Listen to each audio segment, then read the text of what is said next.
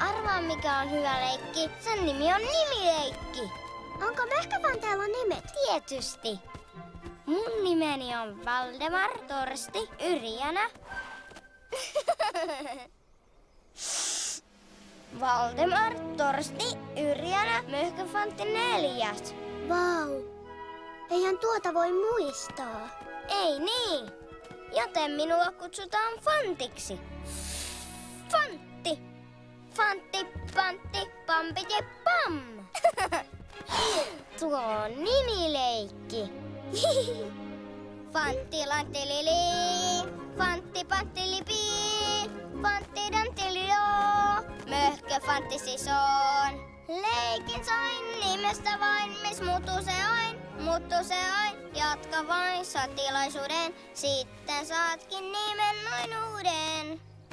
Häh? Siitä vaan, mikä sun nimesi on. Ruu? Ruuti tuteli tuu, ruuti tuteli tuu, ruuti pudeli poo, ruuti tuteli. En, vaan pelkkä ruu.